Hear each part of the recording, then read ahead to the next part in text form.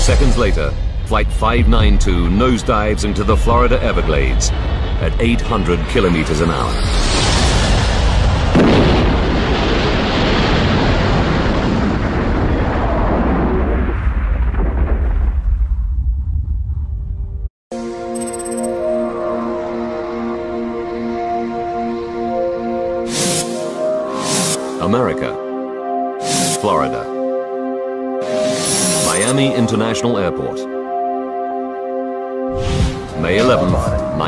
1996, 11.30 a.m. 24-year-old Jay Smith is being dropped off by his good friend Scott Kleiman. Jay is on his way home to Montgomery, Alabama. Don't forget to say hi to your parents, okay? Tomorrow is Mother's Day, and his whole family are looking forward to seeing him, especially his mother Susan, who dotes on him. He is a wonderful child. I could not have asked for a better son. He is perfect in every way. Jay checks the board for his flight, ValuJet 592, due to leave at 1 o'clock. He's there in plenty of time because security is especially tight at the moment.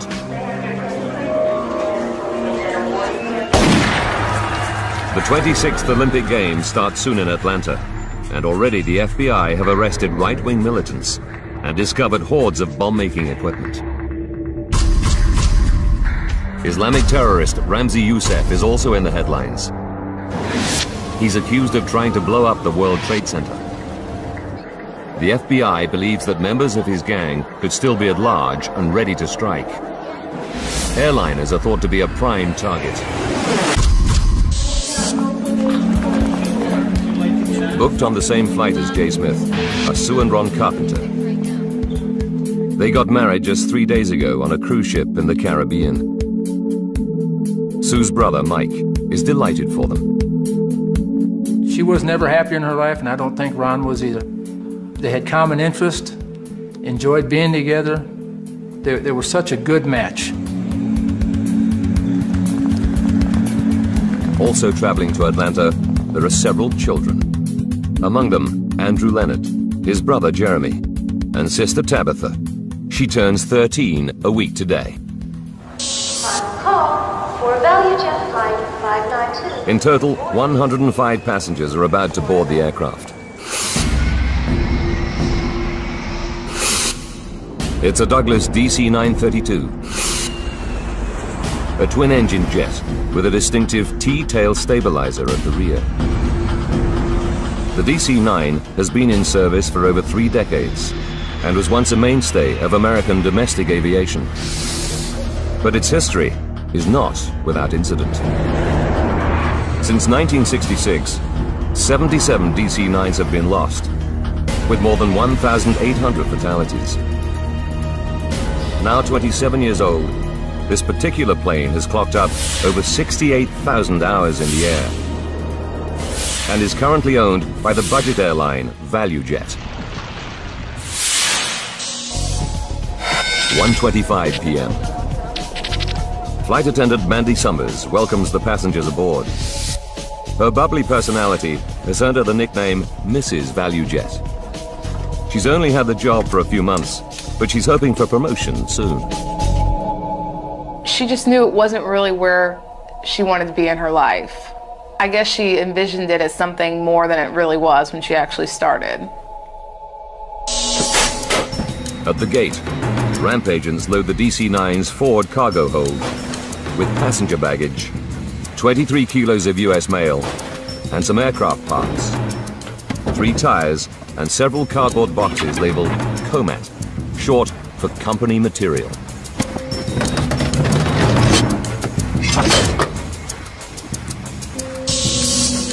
In the cockpit this afternoon is Captain Candalyn Kubeck.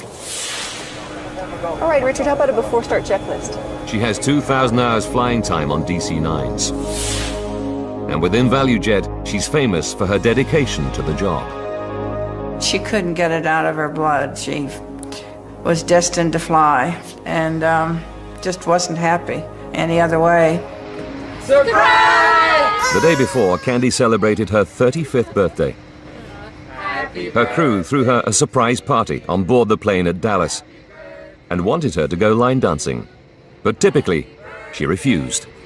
She said they knew, knew better that I will never go out the night before a, a flight. 1.30 p.m. And the aircraft is 30 minutes behind schedule. There have been some minor mechanical problems. The jet's autopilot isn't working properly. A fuel gauge and cabin phone are out, and there's been a fault in the hydraulics backup circuit. Checking through the systems is First Officer Richard Hazen. He's an Air Force veteran with 20 years of aviation experience behind him. Faulty equipment is not an unusual state of affairs at ValuJet. The carrier sells low-cost airfares using old planes bought from around the world. Its fleet is among the oldest in America, averaging 26 years. And there have been recent incidents. Just under a year ago, an engine exploded on another DC-9 while it was on the runway at Atlanta.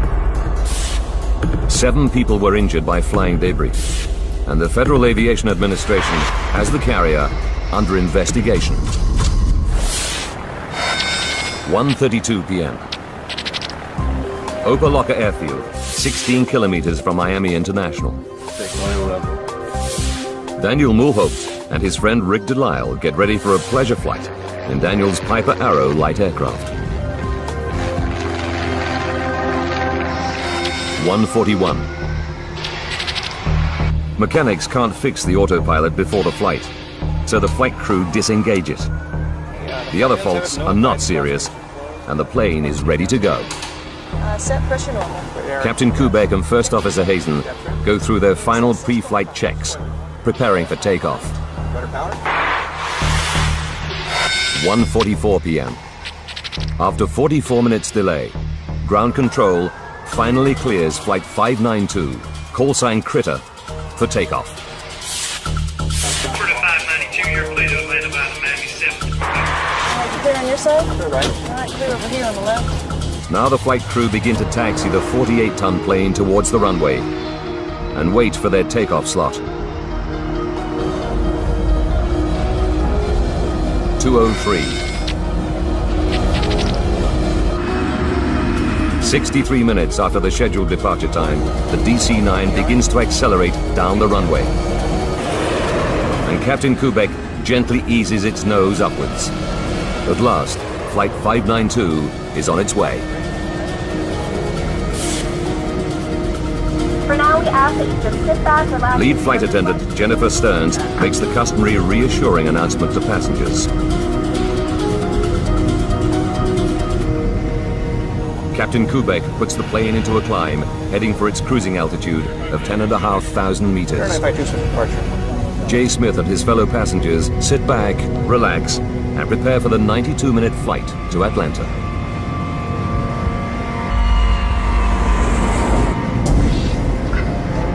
At 2.10 p.m., just minutes after takeoff, people start to smell smoke.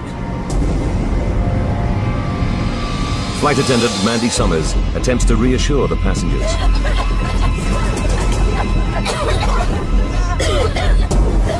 But the temperature is rising and the smoke is getting thicker by the second.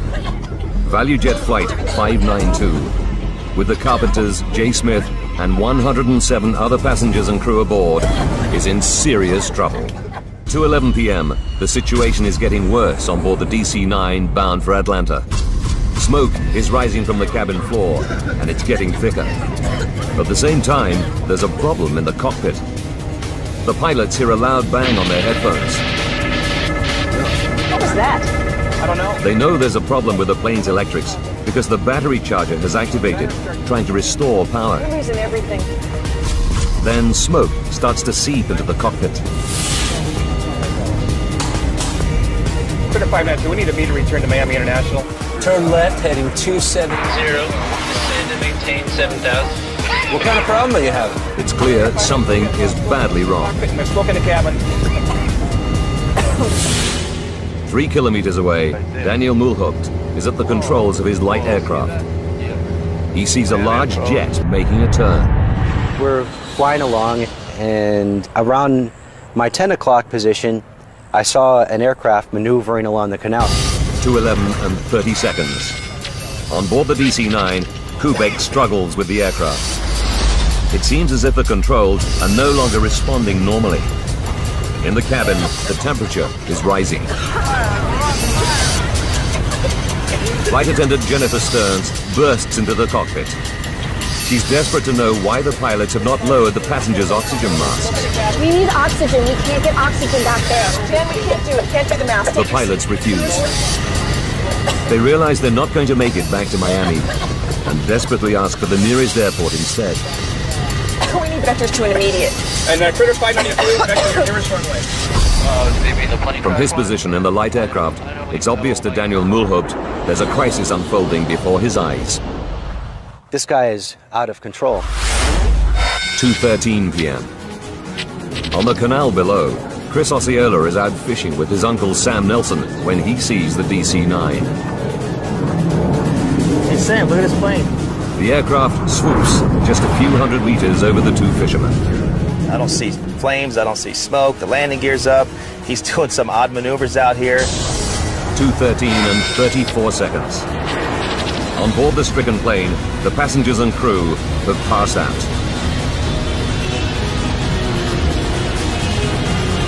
Two thirteen and 42 seconds.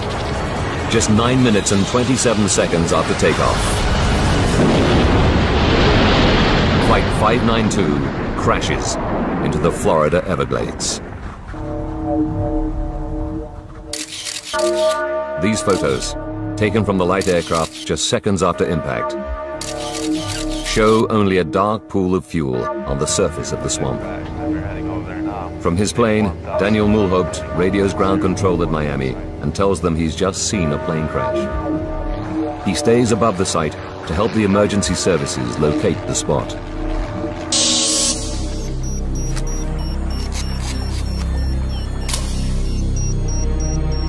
Fisherman Chris Osceola also takes a photo. When the two men climb to the top of a levee, everything is eerily quiet. The swamp has simply absorbed the 48-ton aircraft. And not to see anything at all or hear anything. I mean, it was just, you hear birds chirping, you, you know, but you could smell the jet fuel.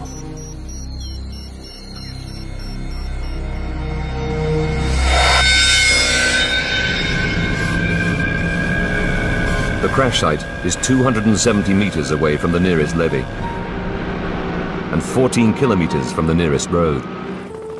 Rescuers can only reach it by airboat and helicopter. They're confronted by a horrifying scene. Sergeant Felix Jimenez from the Miami-Dade Police is one of the first to arrive. As we got closer to the crash site, uh, I could determine that th- there was an aircraft that crashed, but it was all in very small pieces. Good evening. Well, if you've been with us through the afternoon, you know that there has been a terrible air crash just northwest of Miami International Airport. A ValuJet DC 9 with 109 passengers and crew bound for Atlanta went down in the Everglades at mid afternoon. As the networks get hold of the story, searches continue to look for survivors until the light fails. It's a hopeless task. We have not so far been able to find any victims, any survivors, any bodies. Within hours, the dreadful news begins to reach the relatives. Susan Smith discovers the terrible truth about her beloved son in a phone call. There was horrible screaming, and I realized that it was my daughter. She told me that a plane had gone down coming from Miami. And at the moment she told me that, in my heart I knew that it was the plane that Jay was on. Jay Smith, on his way home for Mother's Day, has had his life cut short before it could really begin. At her home near Atlanta, Georgia, Captain Kubeck's mother, Marilyn, also gets the dreadful call. I really threw myself on the floor and beat the floor in, in despair. This just can't be true. It's it, it, I'm, I'm having a dream, a nightmare. This is not real. Just one of the children to die, Tabitha Leonard is killed just a week before her 13th birthday. With despair come demands for an explanation. Why did Flight 592 plummet from the sky just minutes after takeoff? Why were two such experienced pilots unable to save the plane?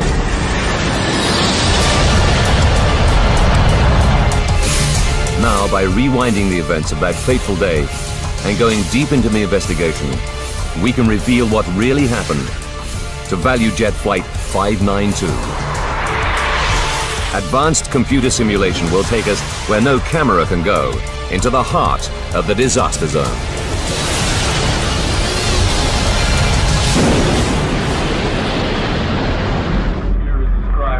1,500 kilometers to the north, in Washington, D.C., National Transportation Safety Board expert Greg Feith watches the news from Miami. He's led two major investigations for the Safety Board before, but he already knows this one will be a uniquely difficult challenge. As I was running around my house packing to leave and having all the TVs on and they were showing aerial views of the accident site, all I could wonder as an accident investigator is how am I going to conduct this investigation when I don't see any visible wreckage? As Greg assembles the Safety Board's rapid response team, an NTSB official captures the scene with a home video camera. Just two hours after the loss of Flight 592, they're en route to Miami and fly over the crash site on the way. It's a sobering sight. Definitely not a lot of anything out here. With over 800 DC-9s in service, finding out just what happened is a matter of urgency.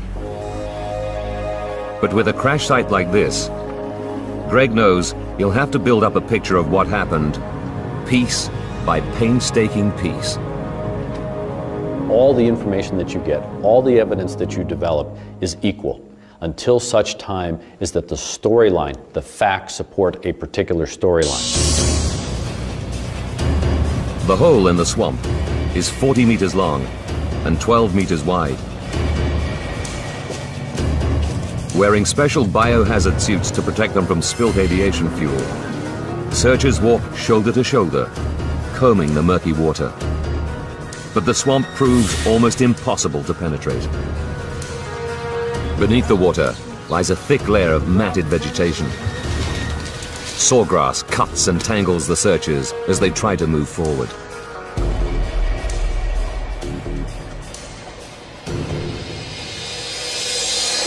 What is your full name, please?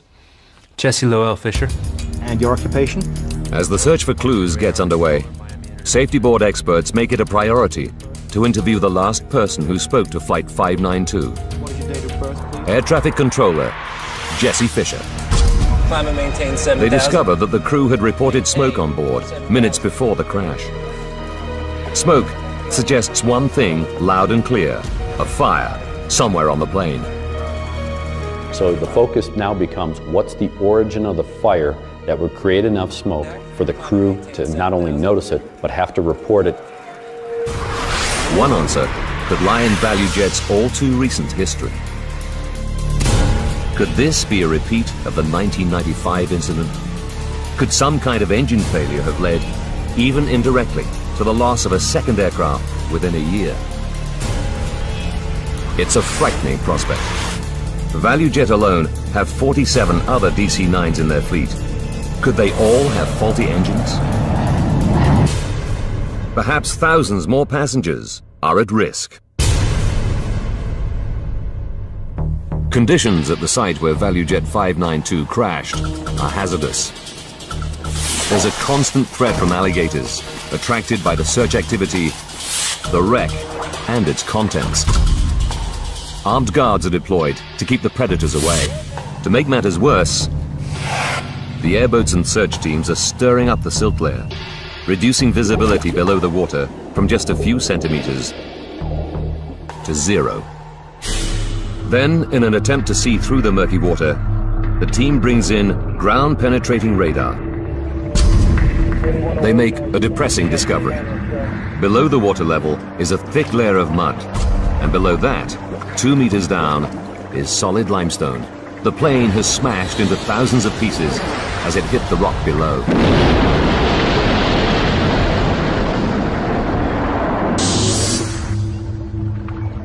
The team starts to piece together all the recovered debris at nearby Kendall Tamiami Airport, where safety board specialists will examine it closely.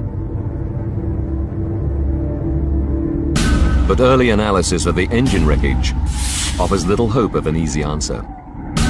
Plane debris, sawgrass and swamp mud have become buried deep in the engine casings. Greg Feith knows that this is only likely to happen if they were working normally on impact.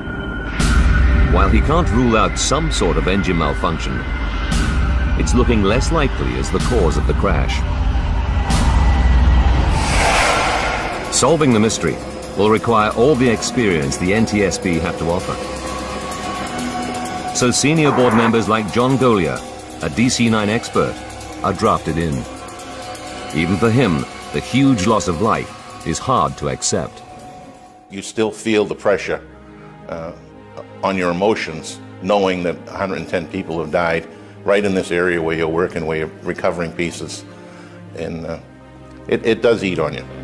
For all the investigators, the search for clues is a grim task. Every time I went out to the accident site, knowing that there were a lot of children on this flight, and you see the remnants, it was, a, it was very emotionally, it's, it's very heart-tugging it was very, very difficult every single day. Gradually, the relatives and public learn the full horror of the tragedy. When you go through something like this, you would give anything to have those people back in your life. I can remember seeing those images of the crash and it tore me apart. I tried not to cry in front of my mother. I would go in the shower at night and just sob. Slowly, sections of the DC-9 begin to take shape on the floor of a hangar. The investigators painstakingly recover, decontaminate, and identify thousands of pieces. There are two parts that would help the investigation more than any other. The flight data and cockpit voice recorders. But the black boxes, as they're often called, remain stubbornly hidden in the swamp. Without them, it would have made the investigative process very difficult because they were going to provide us with a lot of information. The team carry on regardless and find that even without the black boxes, the wreckage in the hangar does begin to yield useful information. Metal seat frames have melted carpets and fuselage coverings have burned intensely. It becomes clear that the smoke that First Officer Hazen reported has indeed come from a devastating fire. One hot enough to melt aluminium. They estimate temperatures in the cabin area must have reached at least 815 degrees Celsius. But even for DC-9 expert John Goglia, the source of such an inferno is a mystery. We knew that there was an intense fire. What that meant, how that happened, was eluding us. Then, as one of the police teams fans out across the muddy pools of swamp water, an officer steps on something solid. A moment captured on camera. It's the FDR, or Flight Data Recorder, a major find. I'm there, we got a box. If the box survived the crash intact, it'll provide the team with key technical data from the flight including airspeed, altitude, and the plane's movements in the air. Crucially, it'll tell them whether the plane's engines failed. But when technicians and officials at NTSB headquarters in Washington get their first look at the flight data recorder, they're not optimistic. This flight data recorder took a severe hit, and when we first saw it in the laboratory, uh, we had great concern that we were not going to get the data off of it. While they wait, the NTSB team consider a new, sinister option. The fire was so sudden and the loss of control so complete that a bomb has to be a possibility.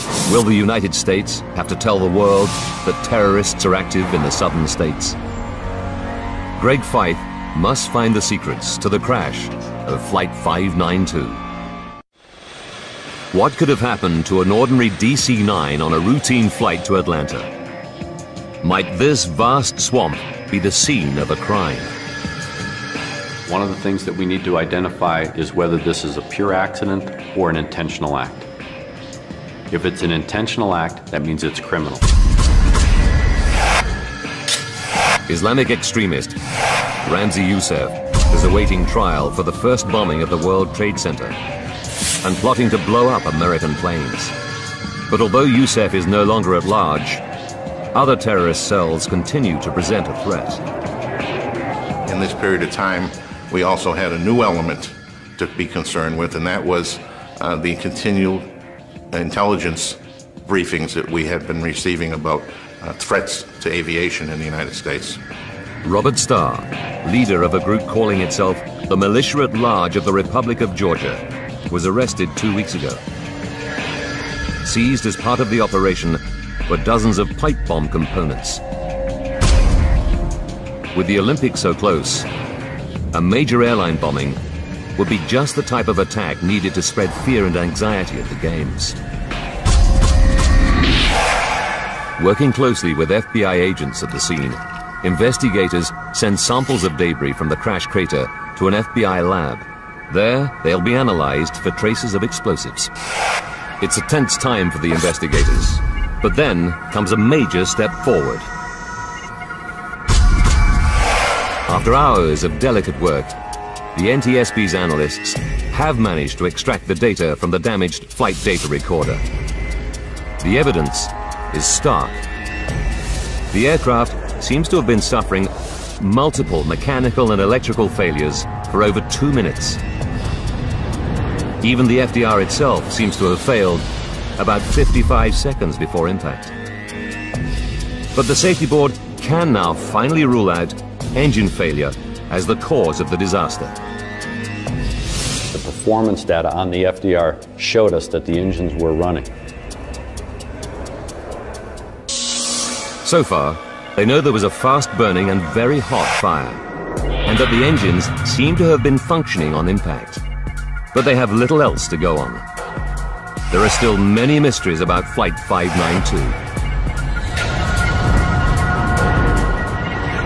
If only they can find a second black box, the vitally important cockpit voice recorder, they might find the missing clues they so desperately need.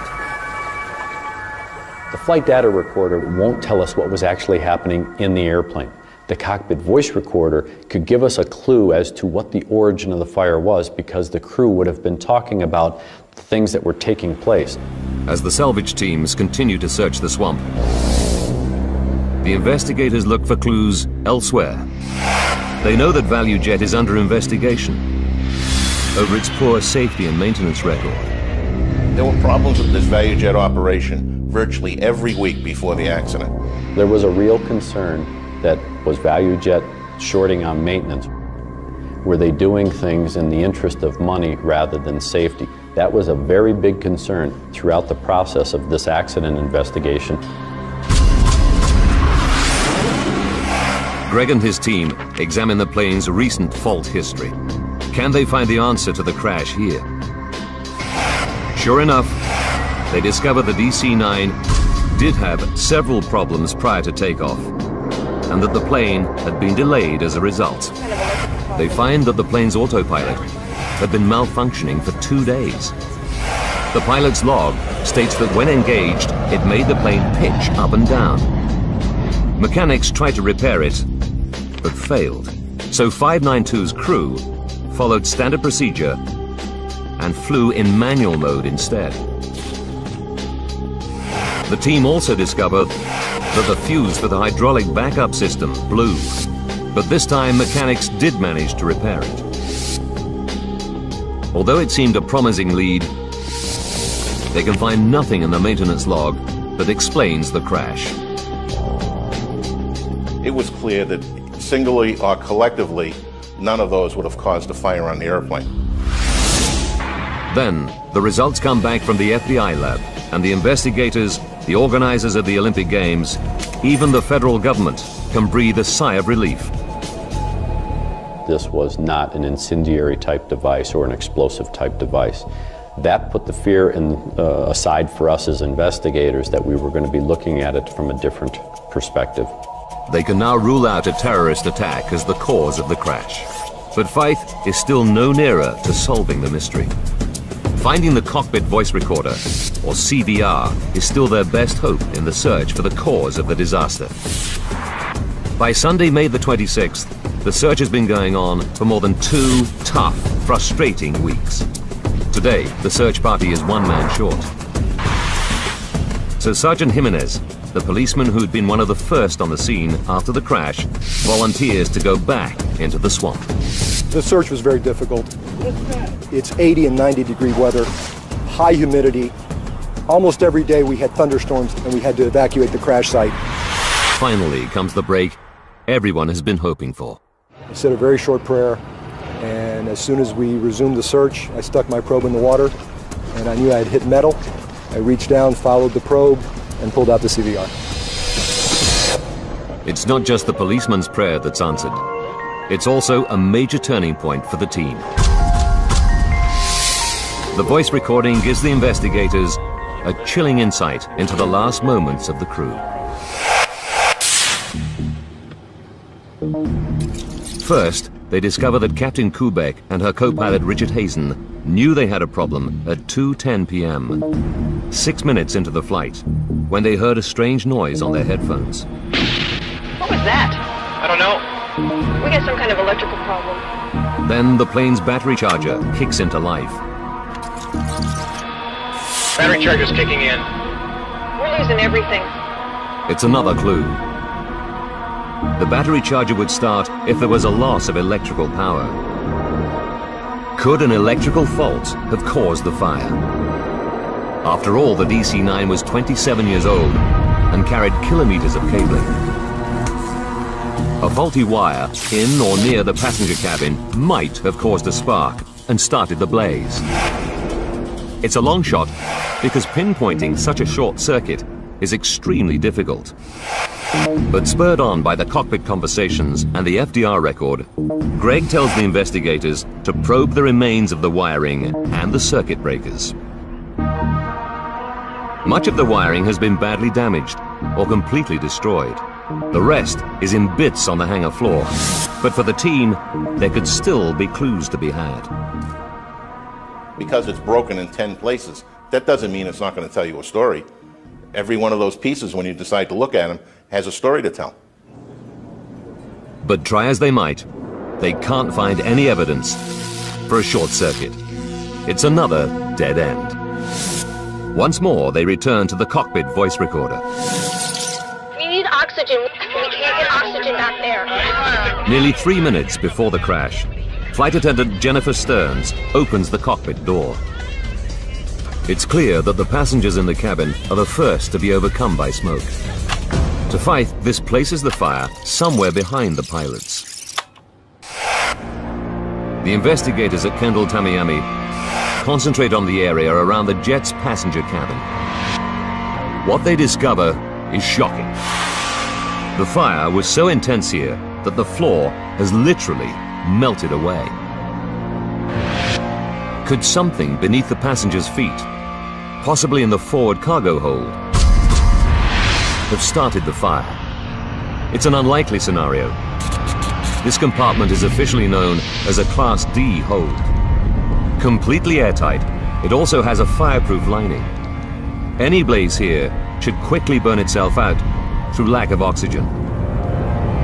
But Feith decides to check it out anyhow. We had to go back to the manifest. We had to see what was in that forward cargo hold. The safety board studies the paperwork to see if the forward hold contained anything suspicious. It indicates that in the hold were 28 kilos of mail and some passenger baggage. But with a bomb or incendiary device already ruled out, investigators move on. The manifest also shows two consignments of aircraft parts in the compartment. Instantly, they see something suspicious. Three tires from another DC-9. For transportation, tires should be filled with nitrogen and underinflated or they can burst. An oversight here could possibly be the cause of the disaster. But the records show that the ground crew followed correct procedure. Another promising lead has gone nowhere.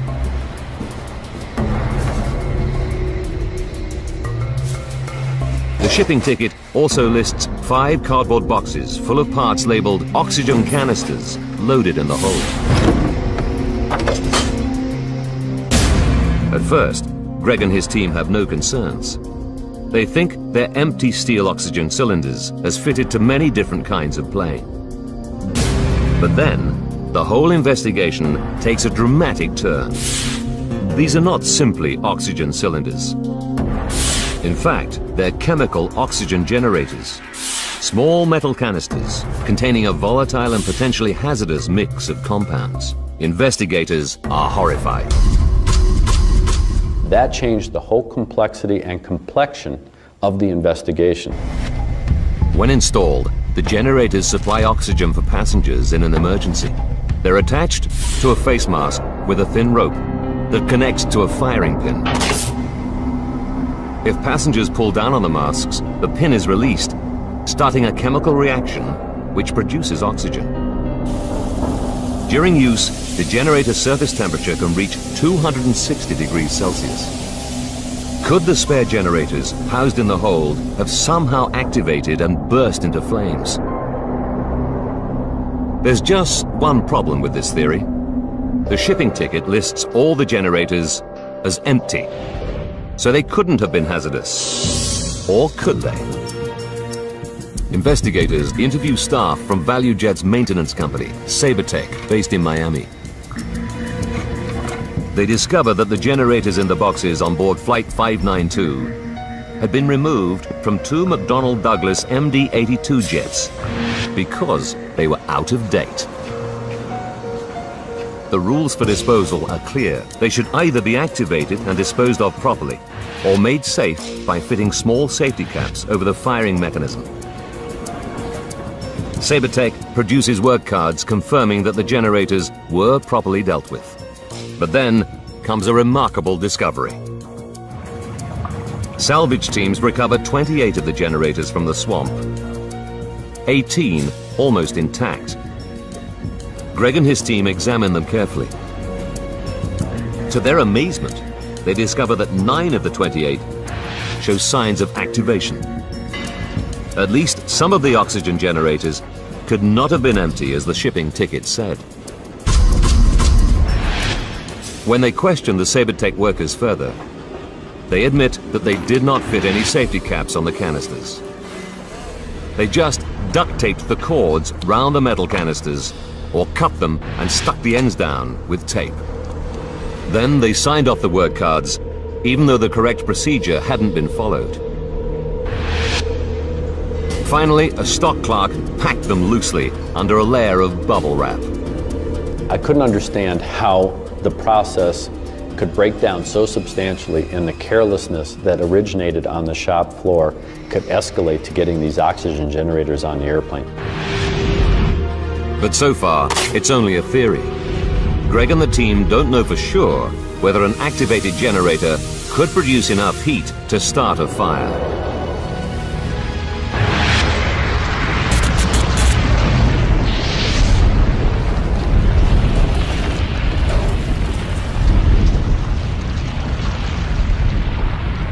At this point in time, nobody really had a good understanding of what happens when these uh, oxygen generators start producing oxygen.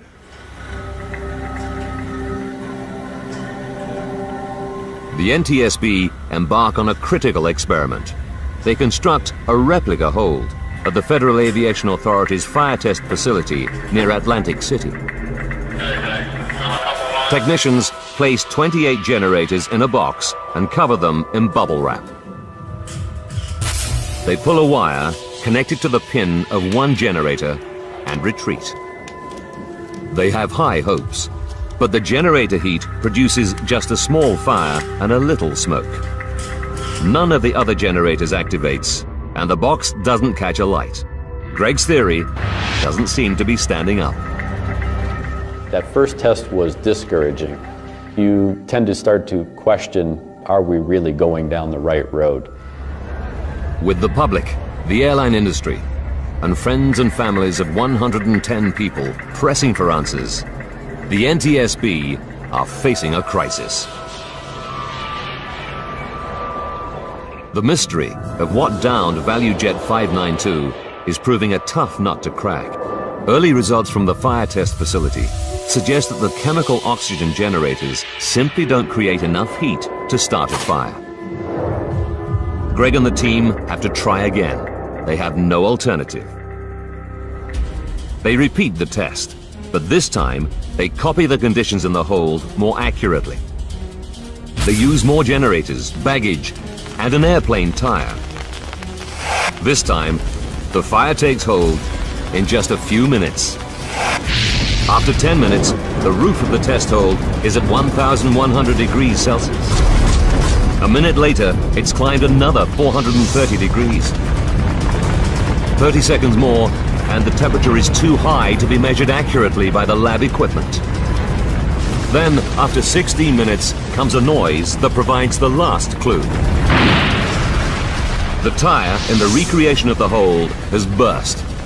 The oxygen generators did have the capacity to start and sustain a fire. You have 144 little blowtorches in essence, and the intensity of the heat escalated from what we found in post-accident testing to over 3,000 degrees. Investigators now know the critical chain of events that led to the crash of Flight 592. They know why a fire started on board the plane, what fueled it, and why the pilots lost control of the aircraft, leaving everyone on board seconds from disaster.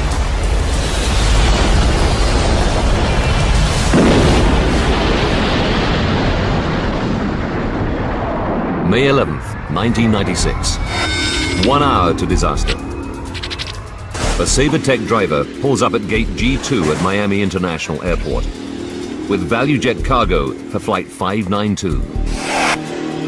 Inside the boxes are 144 out-of-date oxygen generators, loosely packed. A ramp agent places them around a large airplane tire. The pilots are unaware that they have a dangerous load on board. 30 minutes to go. As the plane taxis to the runway, the loose packing and unsecured cargo jolts one of the generators into action. It begins to heat up. 11 minutes to disaster. The plane taxis to its takeoff position. In the hold, the surface of the metal generator gets hotter and hotter. Soon, the heat ignites the cardboard box and bubble wrap, and the blaze begins. 10 minutes to disaster. Flight 592 takes off from Miami Airport. Even though the hold is airtight, the fire is now blazing fiercely, sustained by the oxygen produced by the generators. Three and a half minutes to go. The sound heard by the crew is one of the tires in the hold bursting, just as it did in the lab test. Uh, the battery charge is kicking in. We're losing everything. The battery charger can't help the stricken jet, as the fire is consuming everything in its path, including the control cables that run to the rear of the plane. Captain Kubeck begins to lose control of the aircraft. Temperatures in the hold have now reached more than 1,650 degrees Celsius. In the cabin, passengers are becoming desperate as they choke on the toxic fumes. We need oxygen. We get oxygen there. Flight attendant Jennifer Stearns rushes into the cockpit. But the pilots refuse to drop the masks, knowing that oxygen would only make the fire worse. One minute from disaster, the cabin floor burns and begins to give way. Seven seconds to disaster. Now no one is in control of the plane. The crew are probably unconscious, overcome by toxic fumes given off by the aircraft's interior fittings. Seconds later, Flight 592 nosedives into the Florida Everglades at 800 kilometers an hour.